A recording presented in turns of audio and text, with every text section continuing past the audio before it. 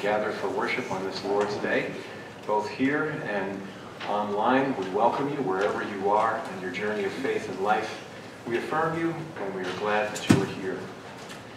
A couple of announcements this morning. Uh, yesterday we had a great day collecting food at IGA with lots of help, and uh, some deacons with other helpers filled 30 Thanksgiving baskets for area families in need. It was a wonderful, generous day that was, I couldn't believe how organized it was. They were fantastic. You should, you should give them a hand.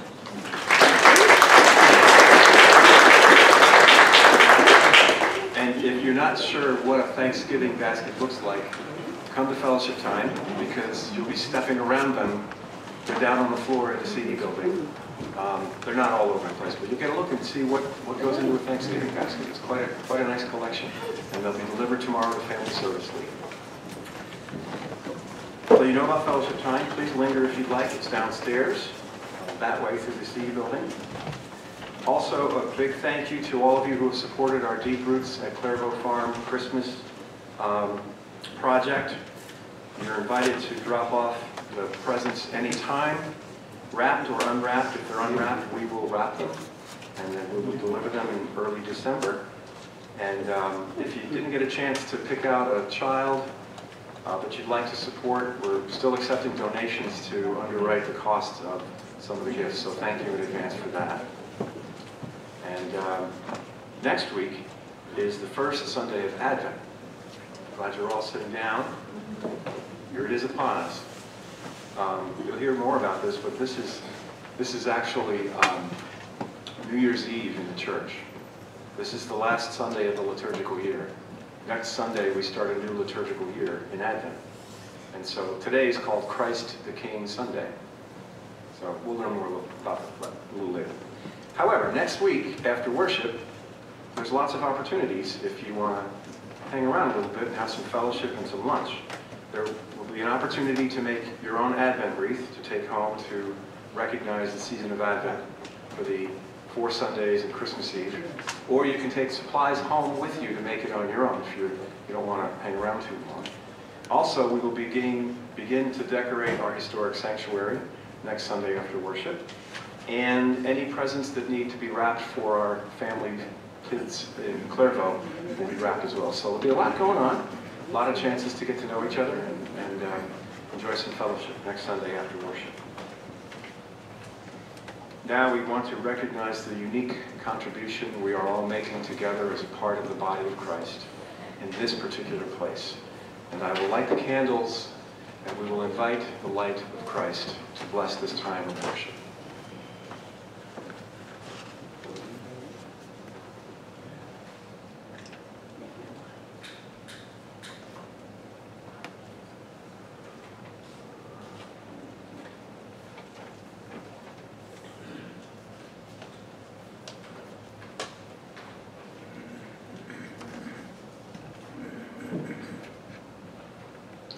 Let us pray.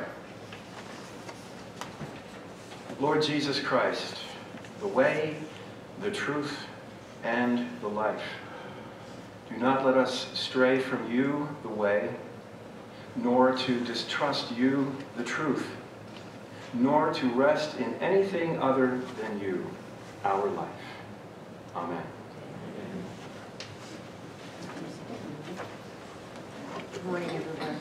Good morning. It really was an honor, you know, yes. Yes. Um, and one of the really neat things about being a liturgist is that um, I look over the program, you know, before. So it, it makes me think about, you know, what we're going to actually be thinking about and praying about um, during our service. Peter just mentioned Clairvaux Farms, and a couple weeks ago, you know, the clips were out where we all took them for, for the kids. And I had just finished a book, which I need to give a plug for. Um, it's a book called An Invisible Child. It is by a New York Times reporter, Andrea Elliott. And apparently she, I did not read the article in the Times, but it was a series of articles following this young girl. She was 11 years old, her name was Dasani and she was named after bottled water by her mother, who was named after Chanel perfume by her mother. So they thought that if they had something really posh, you know, for their names. And it, um, the the New York Times article only followed her for, you know, relatively brief period of time. But the book that she wrote subsequently follows the other, the girl from 11 years old to 18 years of age. And it was um, really an eye-opener for me, you know, and it's, it's funny how you think you know about something, you know, I mean, we talk, our youth group, you know, is very involved with homeless and Clairvaux Farms and, you know, obviously, like all of us have been many places where you see homeless, and I know about Maureen's Haven, but somehow reading this book and seeing um, how we let down the kids, you know, the children, um, I think it really brought home to me about the kids. And I asked Peter how, you know, we did with, with the papers for um, the children. He said, all were taken. So I think that's really amazing. And so I found myself thinking this morning about how I wake up and I turn on Good Morning America. And inevitably, at some point, I say, the world has gone crazy. It's just plumb crazy. I mean, people are shooting each other, they're, they're knifing each other, they're, all kinds of horrible things going on. And then I read this, this morning about separating the good seed from the bad seed. And I thought, well, I guess I can't even do that. You know, I can't even do it my own mind, nonetheless, you know, for anything else. And it, to me, has really been a stark reminder um, of how I can do it. And I guess none of us can really do it. And I just have to really, again, go back to the kids with the frog, fully rely on God, and or, you know, let go and let God. So um, I'm just really proud to be part of this congregation who does so much, just does so much. And um, I guess in the end, you know, we, none of us could take on the problems of the world. We can only take on what's put in front of us. So, having said that, on behalf of the call to worship, would you join me, please, in printed in the bulletin. Give thanks to the Lord, call on his name. Make known his deeds among the peoples. Sing praises to him and tell of all his wonderful works. Glory in his holy name. Let the hearts of those who seek the Lord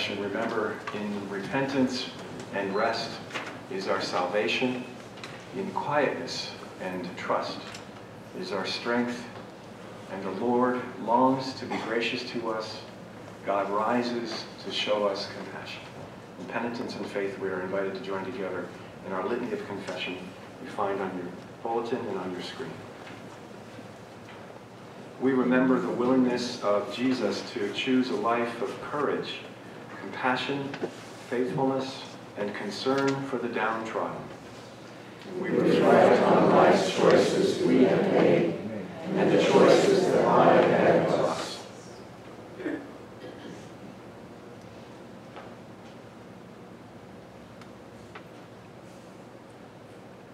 We remember the willingness of Jesus to choose a committed life with a community of disciples, very diverse in viewpoints, backgrounds, and abilities.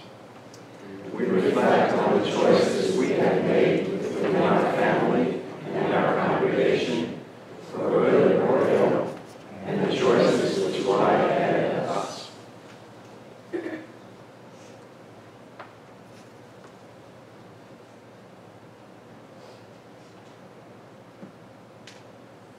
We remember the willingness of Jesus to confront the corrupt practices, the stagnant traditions, and the evil powers of his time. We reflect on the choices we have made for justice and right, and the choices which lie ahead of us. us.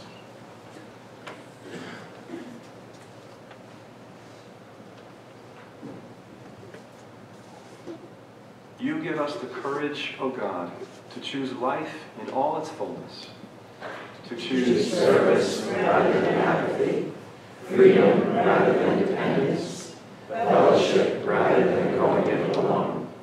As the faithful way comes home to us, so the need for pardon and Christ's peace is strong within us. In the name of Jesus Christ, receive God's pardon and know God's peace. Thanks be to God.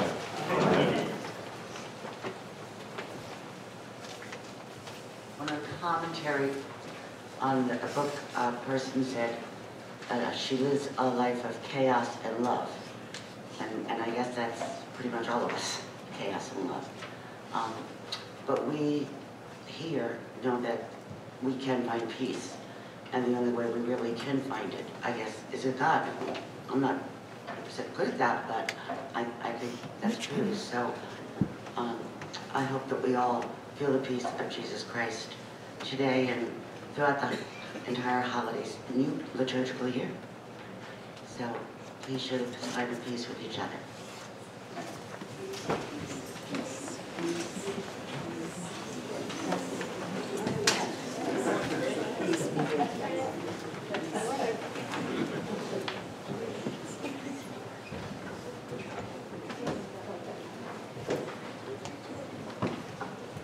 Good morning.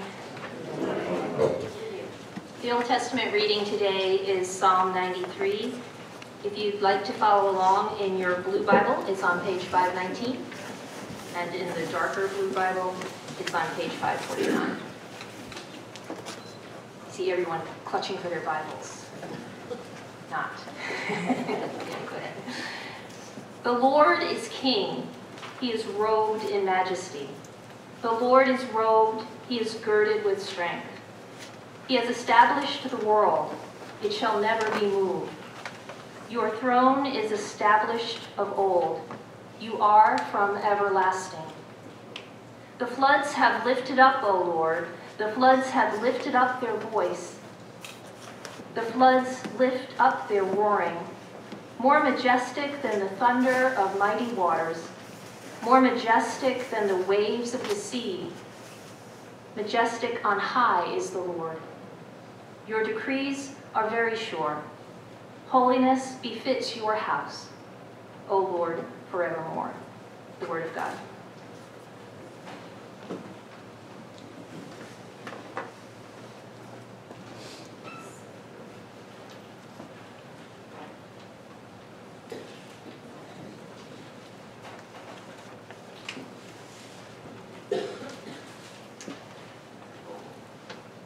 This morning we're in the chapter 13 of Matthew, where there are a number of parables. This morning we will experience the parable of the weeds among the wheat. This is chapter 13, verses 24 through 30. We are invited to open ourselves to God's word in Scripture. Jesus put before them another parable. The kingdom of heaven may be compared to someone who sowed good seed in his field. But while everybody was asleep, an enemy came and sowed seeds among the wheat, and then went away. So when the plants came up and bore grain, then the weeds appeared as well. And the slaves of the householder came and said to him, Master, did you not sow good seed in your field? Where then did these weeds come from? He answered, An enemy has done this. The slave said, Then do you want us to go and gather them?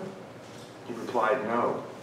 For in gathering the weeds, you would uproot the wheat along with them. Let both of them grow together until the harvest. And at harvest time, I will tell the reapers, Collect the weeds first, and bind them in bundles to be burned, but gather the wheat into my barn. So ends the reading of God's word in Scripture. May God bless it to our understanding. So yes, today is Christ the King Sunday, the Sunday before Advent. And we just read a parable that Jesus told about the kingdom of God. He prefaces a lot of these parables with, the kingdom of God is like. The kingdom of God. And in one way, this parable seems clear enough. As Jesus tells it, there is a man who sows good seed in his field. We learn later that it is wheat. But when everybody is asleep, somebody, an enemy, comes and sows wheat, weeds in the wheat. Of course, as the grain grows up and begins to head, the weeds become noticeable. So the servants go to the master and say, Did you not sow good seeds? He says, Of course I sow good seeds. And where do these weeds come from, they say? An enemy has done this. Well, do you want us to go out there and take the weeds out? The master says, No. No. If you do that, you will pull up the wheat. Leave it alone. At harvest time, I will tell the harvesters to take out the weeds and burn them and gather the grain. First part of the parable's fine. Man sows good seed, then the enemy comes and sows weeds. That's understandable. I have never seen a field without weeds. I have never seen a garden without weeds. Sometimes in abundance. It's not clear whether Jesus is referring to the world in general or to the church in particular, but in either case, there are weeds. I have my list. You probably have yours. This has been true ever since Genesis chapter 3. Remember? After the great sin, Adam and Eve have a curse put on them. This is what it says. By the sweat of your face you will earn your bread, and the ground that you cultivate will produce thorns and thistles. Weeds are the enemy. They always have been. Whoever puts in the weeds is the one over against us. The one who is over against us, every good thing we try to do, over against every kind of good world we try to create, over against every good and healthy and faithful church we try to form. It's also quite natural that the servants would say, Master, do you want us to take the weeds out? It's a natural impulse that we all share. Pull out the weeds. Get rid of the undesirables. Out in the world and in the church, there are all kinds of groups, right, dedicated to doing just that. Get rid of that which is undesirable. It'd be a much better world if we got rid of that one and that one, wouldn't it? It'd be a much better church if we got rid of that one and that one, right? Hmm. The Master says, leave the weeds alone. Why? Because you don't know the wheat from the weeds. You really don't know. You may be thinking you're pulling up a weed, but it turns out to be wheat. You may be thinking you're leaving some wheat, but it's really a weed. You do not know. Only God knows. and my wife. because when weeding, I have to rely on her because I'll be getting ready to yank something up and throw it away, and she'll come running over. No, no, no, no! That's Russian sage, or something else. I don't know. But the master said, "In the harvest, I will take care of all that. I am the only one who knows weeds from weeds, so you leave it alone."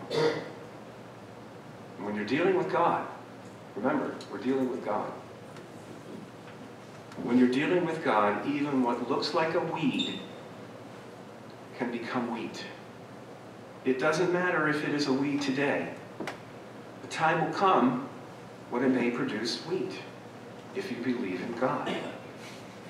I know what some of you are thinking.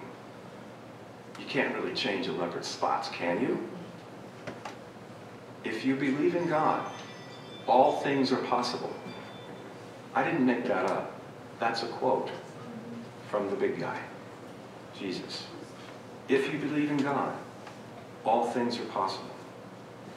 I dare say many of us are in touch with stories of people who at one time were weeds. I was talking with somebody this morning about my misspent youth, as is most of our youths. And by the grace of God and the grace that keeps this world, I survived, and I'm a slightly better person. I dare say many of us are in touch with stories of people who at one time were weeds, and now they're wheat. I wonder if some of you are intimately familiar with stories of weeds that suddenly became wheat. I'm going to age myself here a little bit. Do you remember David Berkowitz? Hmm, yeah, terrorized New York City. Went to jail.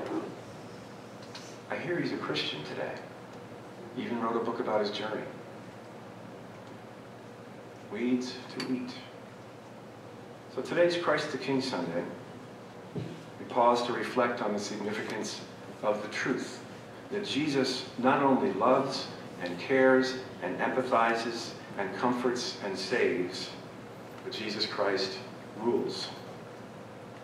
Here is a king who rules through suffering love, sacrificial love given freely, who in word and deed, in his crucifixion, his resurrection, his ascension, is God demonstrating that no matter how chaotic and difficult the world becomes, God is in charge. You may not believe this, but Marguerite and I did not consult this morning before worship started. You warmed them all up. Thank you. The world is crazy. The world is crazy. You know, take your pick. Environmental crisis, racial justice crisis, economic inequities, pandemic fears and concerns. We might be prone to ask, who's in charge? This is the day to recognize, you and me, that we bear two passports in this life. Two passports in our pockets. One says that you are a citizen of this country, your native or adopted land. The other passport you received at baptism. And it says that you belong to the people of the covenant.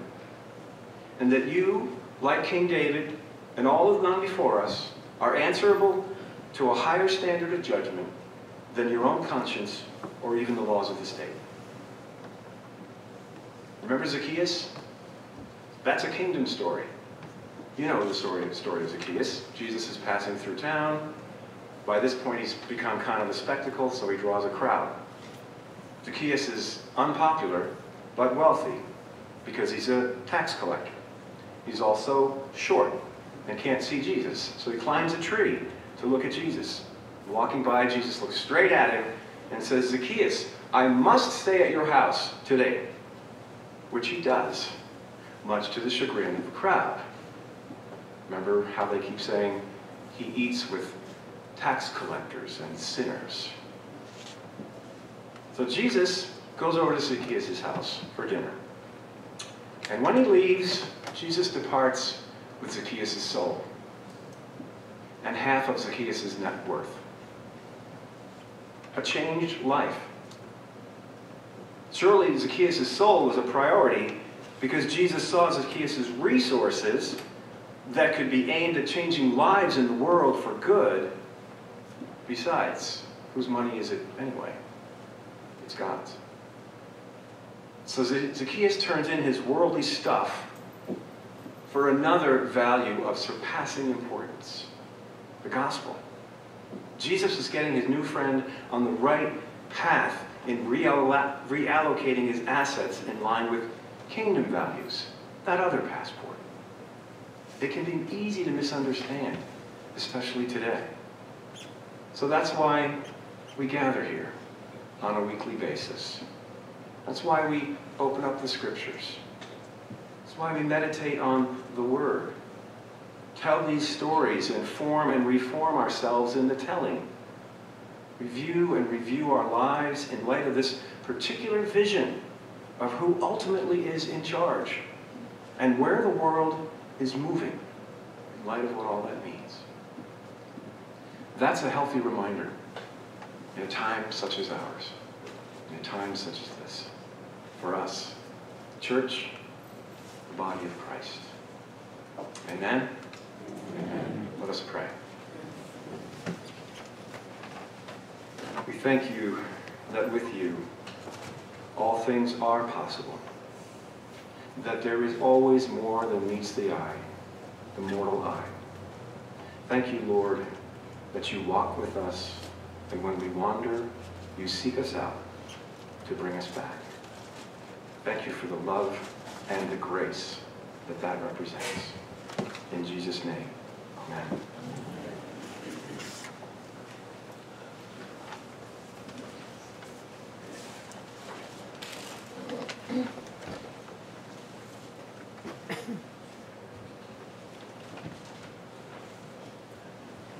join me in reading the affirmation of faith, of faith printed in the bulletin. We believe in the unity of God, who does not wait for us to find ourselves, but comes seeking the lost and calling us into a new way. We believe in Jesus of Nazareth as God's crucial initiative, that when he calls us to follow, Christ also gives us the power to become, both in creed and deed, the children of the living God. We believe in the Spirit, by whom Jesus still comes to us, calling us to follow him into an obedience which is true liberty, and to a humble service, which is the fruit of holy friendship. We believe in the church as a fellowship of Christ's people, called to respect and support one another through joys and tribulations as we travel the road toward the promised land of God's future. May it be so. Amen.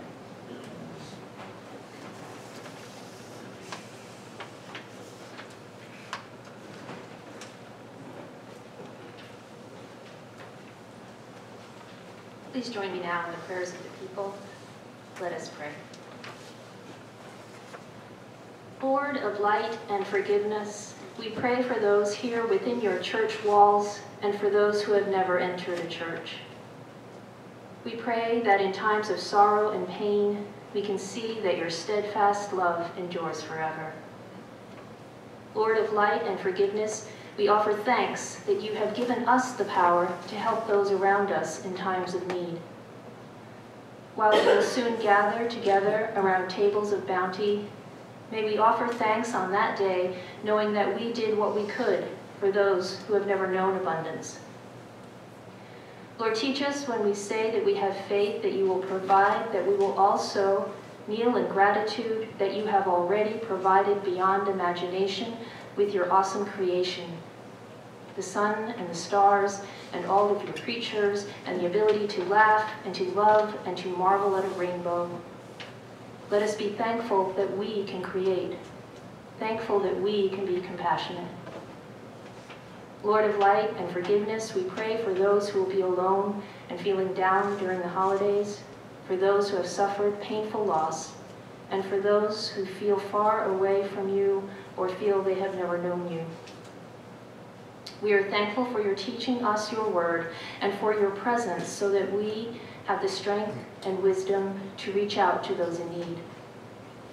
We are thankful for the diverse nation, nature of our nation, and yet we grieve that we have been led to turn away from our brothers and sisters in anger, hating people instead of ideas.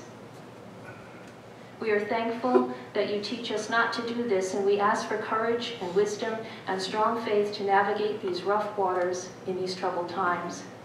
We know that you are with us. Almighty God, we thank you for sending us your Son, who gave the ultimate sacrifice so that we may live in the forgiveness of your light as we choose to follow you. And we thank you that he taught us how to pray, saying these words. Our Father, who art in heaven, hallowed be thy name. Thy kingdom come, thy will be done, on earth as it is in heaven. Give us this day our daily bread, and forgive us our debts as we forgive our debtors. And lead us not into temptation, but deliver us from evil. For thine is the kingdom, and the power, and the glory forever and ever. Amen. We have a moment for stewardship this morning, which will be led by David Dickerson.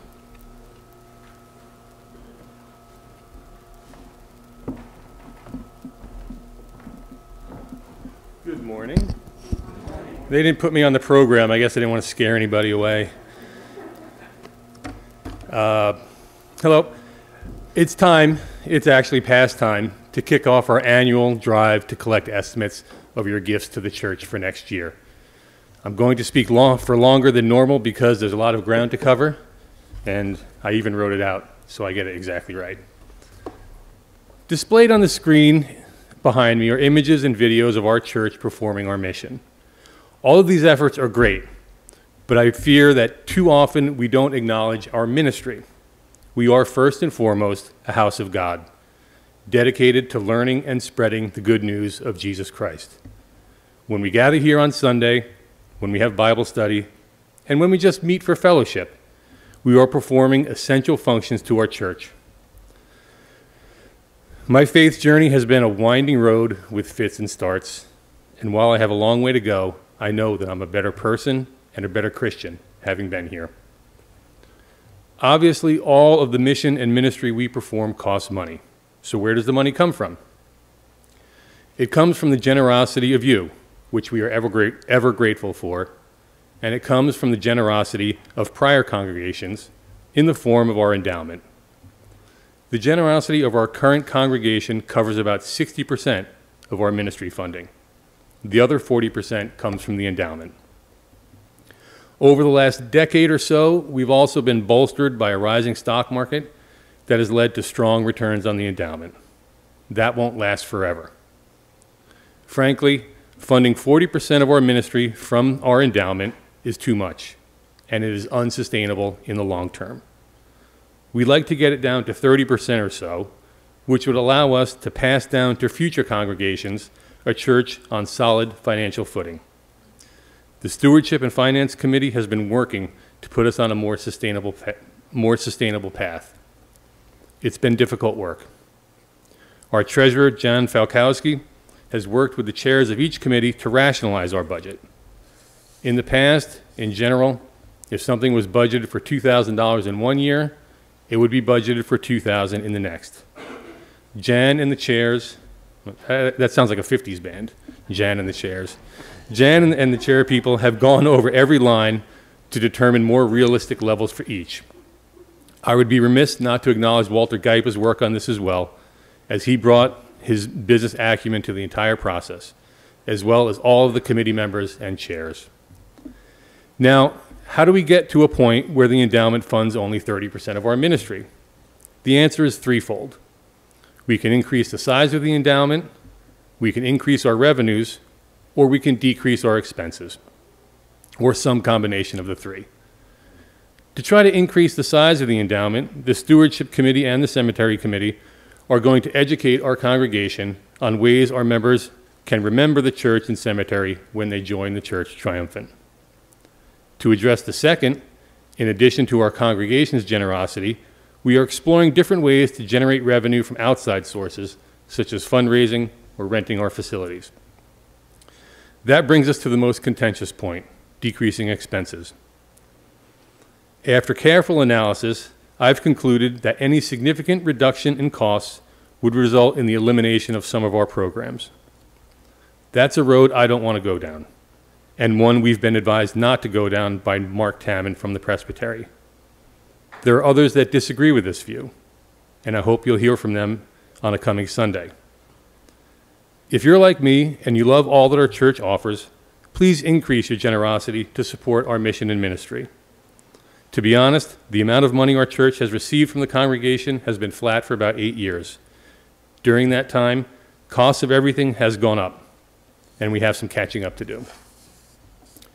Going back to the second point, increasing revenues, we'd like to give you a benchmark to shoot for. The average household uh, gives about $2,000 per year. If we could increase that by 10%, it would go a long way toward putting our church on a solid, in a solid financial condition. So that's what I'm asking. Think about all the reasons we are members here, all the good that we do in our community and beyond, all the spreading of God's word, and all the fellowship. And think about all the ways God has blessed us and increase your annual gift to our church by 10% to help ensure that it remains the vibrant, important, and welcoming church that it is. I'll end with 2 Corinthians chapter 9 verse 11. You will be enriched in every way to be generous in every way, which through us will produce thanksgiving to God. Thank you.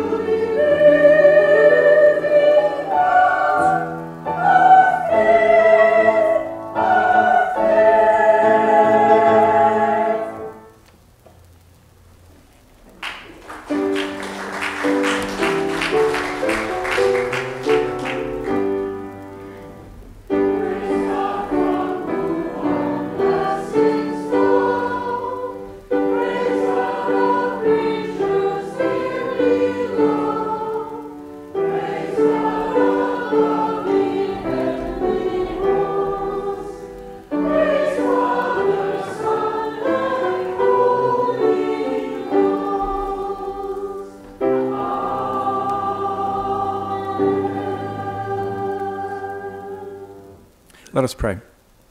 Lord, we give ourselves to you, and with the church through all ages, we thank you for your saving love in Jesus Christ our Lord. And we dedicate all that we offer to become instruments of your presence, your mercy, your peace, your justice, and your love. In his name, amen.